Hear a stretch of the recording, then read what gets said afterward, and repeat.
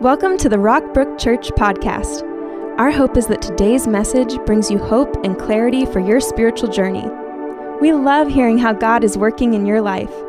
Feel free to share any stories of how this message gave you a new perspective and hope. Email us at church at rockbrook.org to tell your story. Glory to God. Come on, you can do better than that. Amazing. Glory to God.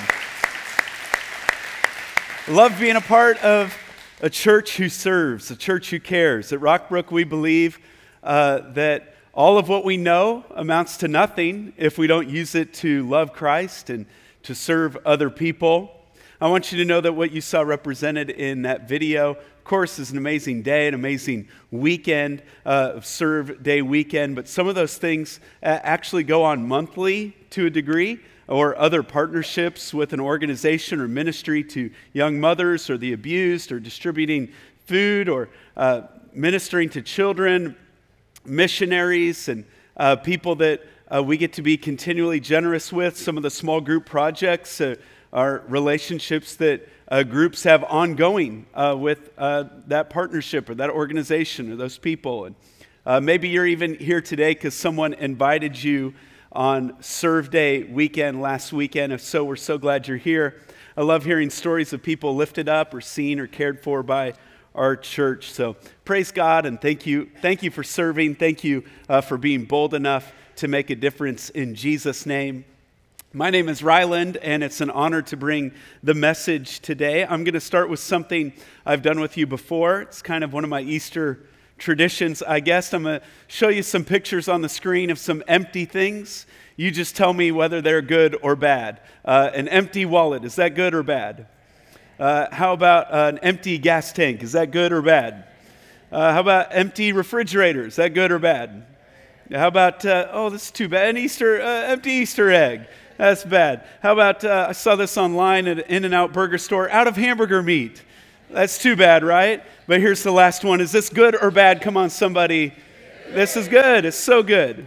And I want you to know what we've sung about Jesus today and what we're preaching on Jesus today is not just a metaphor, it's not a philosophy, it's not just this picture of idea of like, oh, springtime and eggs and new life. No, we believe, if you're taking notes, you might write this in, that the resurrection is real. And that's what Christians have believed since the resurrection that a real body really got up out of that tomb. And Christianity is stubbornly historical to this fact. The truth of the resurrection is as real of an event as all events in human history. Jesus was on earth in his resurrected body for uh, 40 days after the resurrection. More than 500 people saw him in 10 post resurrection events, appearances. And this Easter, uh, we're beginning a series uh, talking about different encounters people had with Jesus before and after the resurrection. And this week, we're going to look at one of the most notorious doubters who ever lived because for 2,000 years, come on, somebody, we've been calling him doubting. And maybe you've heard that before, you didn't even realize that was from Christianity. Uh, but let's look at it today. This is in the book of John in the New Testament. Uh, the Bible is made up of several different books, and the books sometimes are named after the person who wrote it, or they're named after the person who it was written to. Uh, this one is, writ- is named after the disciple of Jesus named John, who wrote a biography of Jesus, and it's broken up in chapters and verses. So this is John chapter 20, verses 19 through 31. Look at it with me. This is uh, on the evening of Easter Sunday, the, the Sunday that Jesus resurrected, of that first day of the week, when the disciples were together with the doors locked for fear of the Jewish leaders. Jesus came and stood among them and said, Peace be with you. After he said this, he showed them his hands and his side. The disciples were overjoyed when they saw the Lord. Again, Jesus said, Peace be with you. As the Father has sent me, I am sending you. And with that, he breathed on them and said, Receive the Holy Spirit. If you forgive anyone's sins, their sins are forgiven. If you do not forgive them, they are not forgiven. Now, Thomas, known as Didymus, one of the twelve, was not with the disciples when Jesus came. And I'm sorry, but I just think that's funny. I don't know what he was doing out getting Starbucks for the group or something, but he was missed the biggest event in human history. Do you ever have a friend? Do you have a friend who's like, they always have to get up and go to the bathroom at the most important part of the movie, or like they walk in halfway to everything and they always miss it. And reminds a few years ago when uh, the Chiefs were in the playoffs, uh, they were playing the Texans and this is really when the run started getting going, but it, has been you know a rough, rough streak leading up to that. And the Texans are up 21 to zero. And my wife says, "I'm just going to go put the boys to bed."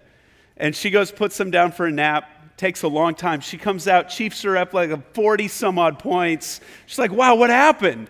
Then a few weeks later, we're in the Super Bowl. It's rough playing the 49ers. We're down not looking good. I'm just going to put the boys to bed. She puts the boys to bed, comes back out. We're winning the Super Bowl. She's like, wow, what happened? And so now, whenever the Chiefs are down, I'm thinking, maybe Lauren ought to go put the boys to bed and let's see what happens, right? She missed it all. So the other disciples told him, We have seen the Lord. They tell him what happened. But he said to them, Unless I see the nail marks in his hands and put my finger where the nails were and put my hand into his side, I will not believe. Now, this speaks to the severity of the crucifixion that Jesus thoroughly died on the cross. Thomas is saying, You're telling me that the guy who I watched hang on that cross, crucified, suffocate to death, bleed out, was standing here among you, I won't believe that until I see it. A week later, his disciples were in the house again, and Thomas was with them. Though the doors were locked, Jesus came and stood among them and said, Peace be with you. Then he said to Thomas, Put your finger here, see my hands. Reach out your hand and put it into my side. Stop doubting and believe. Thomas said to him, My Lord and my God. Then Jesus told him, Because you have seen me, you have believed. Blessed are those who have not seen and yet have believed. John goes on to say Jesus performed many other signs in the presence of his disciples, which are not recorded in this book, but are written that you may believe that Jesus is the Messiah, the Son of God, and by believing you may have life in his name. He says, You know what? I've got far more sources. I have far more memories of what Jesus did than I've put in. He's very selective, but he chooses this moment with Thomas as the climactic moment of the Gospels. Why? What's so special about Thomas? I mean, yeah, he'll go on. He's got one more chapter to his biography of Jesus where he ties up some loose ends between Peter and Jesus and some other things. But why, what's so special about this moment that it's the climax? That's one question I had this week while studying this encounter. The other I had is why does Jesus contradict himself here? Like he if you watch he says one thing but then he does another. He says, "You know what, Thomas, people don't need this. They don't need to see me physically to believe that I rose. You could have just believed the other disciples." But then he shows them. And then I, I caught myself kind of doing the same thing this week of I rebuked my kids. I'm like, you don't need to eat so many chips. Why are you always asking for chips? And I said, go ahead, have some chips. It's fine, right? Like I said one thing and then I'll, I'll let them do another. And when you ask these questions, what you begin to see is that Thomas has been chosen as the climax of the gospel, not because he's a great doubter but because he's a great apostle.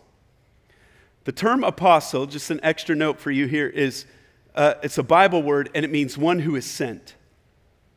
And the remaining 11 disciples, so Jesus called 12 disciples, Judas betrayed Jesus, took his own life. There are 11 remaining.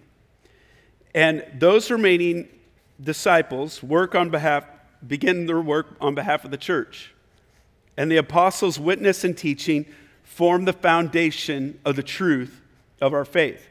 And the apostles had a special task of the founding of the church. Now, we'll get this, what, what this has to do with you and me in a moment. We'll get there, but just track with me here for a moment. The reason that the disciple Thomas needs to see Christ physically is not in order for him to be a believer. As a believer, Thomas does not need to see the risen Christ with his own eyes. But as an apostle, he does. And that first meeting that Thomas missed, wherein he's gone, that's the first commissioning of the apostles. And Jesus gives them the message. He says, Here's the, it's, I'm giving you the authority to tell people how to be forgiven. And the reason Jesus needs to make sure Thomas is included is because the apostles were eyewitnesses to the resurrection. Later, when they go to elect a new apostle, they say it's got to be someone who's a witness with us to the resurrection of Jesus. Later, the apostle Paul says, I've seen the risen Lord. If I hadn't seen him, I couldn't be an apostle. And when it comes to the resurrection, the apostles get the royal treatment. They get every kind of possible proof. They get rational proof, physical proof, existential proof. They got everything. They're overwhelmed with it. So, when the apostles and their associates begin to die off, their witness and their teachings put into this book, the Holy Bible. So, how can you, 2,000 years later, be sure that Jesus rose from the dead and believe it. You look at what John and Thomas said, and they say, Look at the treatment we got. Look at not what we chose to believe. They say, Look at what we saw with our own eyes. But guess what? For one week, Thomas had to relate to the apostles the same way you and I have to relate to them today. And Thomas is rebuked for not believing their testimony. So, how are we doing? How about me? How about you? Are you believing the apostles? You see, j- just one more thing before we get to your notes. Thomas already knew plenty about the teachings of Jesus. If Thomas's job as an apostle was to be sent out to say what Jesus said, he was thoroughly equipped and qualified to do so. But of what's of most importance is not just what Jesus said, but what he did. Because Christianity is not just a religion to follow. What he did for you has power to save you. Not a philosophy, but what actually happened in history. So the apostles don't just bring his teaching to you so that you can make it all about you. He brings what Jesus did because it's all about him. And that's the reason why it changed the world. Thomas was a great apostle and he became a great believer. In fact, he was the first to evangelize the nation of India. Believing Thomas took the gospel farther geographically than any other apostle. People from another religion captured him and threatened him. They said they'd kill him if he didn't deny Jesus. And he said, I could never deny what I saw the risen Christ. And they killed him. And he was killed for not just what he believed, but killed for what he saw. And this amazing moment of Thomas seeing Jesus is the climax of the gospel. So, what does that have to do with you and me this Easter? Well, there's a lot of instruction here of how to build your belief, of how to become a believer. It, it answers the question that do you know why some of you are, are worried about life right now? Like you're worried, you're worried to death. You're worried about death. Uh, you're worried about money. You're bitter right now. Like as you sit there right now, you are bitter against somebody else. Maybe angry at someone. Maybe you've tossed and turned all week because uh, you felt like you were left out or, or snubbed or ignored by somebody. The reason that you may be worried today, or you may be discouraged today, or you may be angry today, is because you don't really believe Jesus is who he says he is. Because when you believe in Jesus, when you build your belief in Jesus, there's a blessing that comes with it. There's a blessing of peace. There's a blessing of your worries being dispelled. So you say, well, how do I strengthen my belief in Jesus? Well, you do the same things that Thomas did. This is very practical.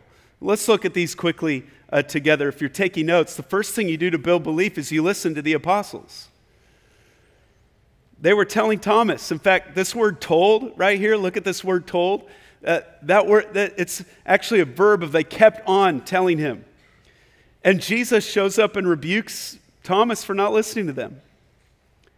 Listen now, if you want Jesus to become very real to you, Uh, the most important thing you can do is actually go read the accounts of the apostles in the New Testament and watch Jesus in the Gospels talking to people, healing people, eating with people.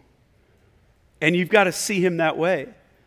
That's why we're starting this series. That's why I invite you to come back and hear more of the apostles' accounts of Jesus dealing with people.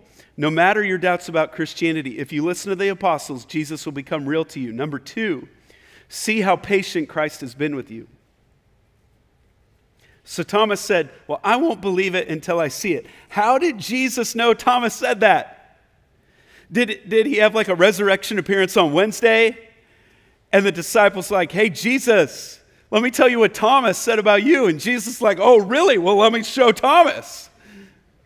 No, no, no. Thomas realizes that Jesus has been listening, that he's been there all along, that Jesus knew Thomas, seen all his doubts seen all his fears, have been right there. And yet, here he is before Thomas. And guess what? Jesus knows all the stupid things you've ever said, and all the stupid things you and I have ever done. And he knows all the promises that you make to yourself and don't keep, and all the promises that you make to other people and haven't been able to keep, and all the promises that you make to God and haven't been able to keep. He knows all your flaws, He knows all your sins, and yet He shows up and says, I'm here for you, and I love you, and I'm going to be here for you. And you've got to see that He's been with you all along, and He's been patiently, intelligently loving you in spite of all the sin and all the things that we've done and all the broken promises. So, how do you build your belief? You listen to the apostles, you see how patient Christ has been with you. Number three, you look at his wounds. You might write that in. To see how great the love of God is. For God so loved the world that he gave his one and only Son. By his wounds we are healed. Humanity did not need just another system to put in place, another set of rules to follow. We didn't, we could not get right with God. We couldn't do it. And we needed someone, a Savior, to come live the life we could not live, to die in our place on the cross, to rise from the dead, to give us new life. A God with wounds to say it's done, a way's been made. Believe in me and you will be saved. You see, our sin broke our connection with God. And you feel it like so- something is not right, something is dead. And when sin entered the world, death entered the world. Before there was no sin, or before there was sin, there was no death. But there was a fall, the fall of mankind. And with it came separation from life and separation from God that we could not mend. And life is now broken, the world is broken, relationships are broken, you've experienced it. But you were made to last forever. And will you last forever in death or in life? And God says, I want you to have eternal life. And the wounds of Jesus, the wounds of Jesus show us that there is something to be saved from. And God cared enough to save you from it. And so you look at his wounds. Number four, you drop your conditions.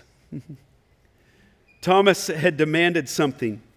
Uh, he demanded a condition. And almost everybody by the way, almost everybody comes to Christ this way. Uh, they say, Well, Lord, I'll, I'll um, man, if you let this relationship work out, I'll believe in you. Lord, if you let uh, this business thing or this career or whatever, if you let this work out, God, if you'll heal my kid, if, you, if you'll turn my kid around, I'll believe in you. God, if you just get me through this semester, I'll believe in you. And all the teachers said, God, if you just get me through this semester, I'll believe in you. But if you ever have a condition to believing in Jesus, do you realize what you've done? If you ever say, God, if you fill in the blank, X, God, I'll obey you if X happens, then X is your real Savior. X is your real Lord and God. X is the thing that you're really after. And I can tell you one thing whatever you fill in the blank there, X, will never die for you. But it will demand that you die for it. And you might be sitting in church still doubting because you've never dropped your condition and say, Lord, I'll, I'll believe you, I'll obey you because you are Lord. And when you've done that, you've stopped doubting and you've believed and you're ready. Jesus shows up to Thomas, says, Behold, see my wounds. And he just responds. He doesn't, he doesn't reach out and touch him. He drops his con- condition and just gives his confession. And that's the fifth thing that we do to build our belief is renew your confession of belief. You might write that in because belief is not just what you think, it's what you say, it's what you do. It's how you express it. Thomas gives one of the greatest confessions of faith in all the Bible. He renews his belief. Confess, by the way, is a very positive word. I know we normally think of that word as like confessing to something bad in a police station or something like that. But confess actually just means to agree. So you align with God you de- and you declare it. You admit it. And each word of Thomas's confession is important. Uh, he says, My, this is personal. He says, You're my Lord. My, it, says, not just what other people think, not just what the other disciples thought. He said, Lord, this is, this is what I think. He says, You're my Lord. Now, Lord means ruler or sovereign. Uh, it's a very countercultural word, especially in first century, because Romans would say Caesar is Lord. They worshiped Caesar as God. Became a test of loyalty in the Roman Empire. When Christians refused to say Caesar is Lord and they would say Jesus is Lord, They'd be put down in their communities, they'd be outcast, many of them put to death, thrown to lions, impaled on poles, made to go fight gladiators. Many of them lost their lives simply because of one phrase Jesus is Lord. But he makes it personal he says, You're my Lord. That means you're the director of my, my life. But he doesn't stop there. He says, You're my God. God means that you're the creator and owner of all things. But he makes it personal again. You're my creator, Lord. The Bible tells us the confessions are important. That we could all come together and admire Jesus today, that would not build our belief. You have to acknowledge it. You have to confess your belief. To say to him, You're my Lord, you're my God. So you listen to the apostles, you see how patient he's been with you. You look at his wounds, you drop your conditions, you renew your confession of belief. And number six, you receive his blessing. The result of belief is blessing. People who live a life of faith live a life of blessing. Now, what does that mean? Blessing is the satisfaction, the fulfillment, of life. It's what every single one of us are looking for. And it's found through believing in Jesus. It's found through being connected to Jesus Christ. Some people attach this word blessing to um, material things or like a circumstance working out the way that they, they prayed that it would. And of course, sometimes that, that's a, a thing of blessing.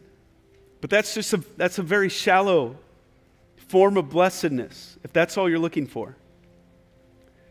True blessing, I'll say it this way it's living with promise. True blessedness of life is living with promise. It's knowing that, come on, like all those things I showed before, you say, that's me today. Like empty wallet, empty refrigerator, empty gas tank. But my life is full because I'm living with promise. It's saying, I may be, even though I'm poor in spirit, God is meeting the needs of my life. That even though I may be mourning or grieving, He's there with me and He's comforting me and He's strengthening me, and I'm never alone. This blessing, living with promise, is that even though everyone around me is freaking out, I'm not afraid. Because I have a promise and there's a peace, there's a strength. And that as we look forward to heaven, we can have a promised life on earth. Listen now, not a perfect life on earth, a promised life. You'll still have problems, but there is peace. John 20, 29, again, Jesus told him, Because you have seen me, you have believed. But blessed are the ones who have not seen and yet have believed. And we would not have this promise except for Thomas's confession. And I'm so glad he confessed his belief, and I'm so glad he saw Jesus so that we could have a rock solid foundation to build our life on. And then we can live with promise.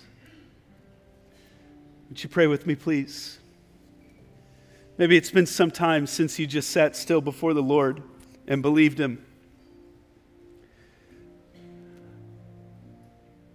And just sat there and trusted um, Him with your life and received His blessing. Maybe it's been, been a while since you experienced the love of Christ expel the fear in your life. I want you to know that even before the world was made, God knew you'd be sitting there wrestling with what you're wrestling with, trying desperately to believe in Jesus. And He comes to you today and He says, I, have I'm here for you. And that my love can meet you today. And he says, I can save you. You can build your belief on me. Jesus, thank you for giving us your word, giving us your promises. We believe you. You are the Lord. And we renew our confession that you're not just a Lord, you're not just a God. You are my Lord. You are my God. Be my director as much as I know how right now, I'm trusting in you. I believe in you. It's in Jesus' name I pray. Amen. Thanks for joining us today.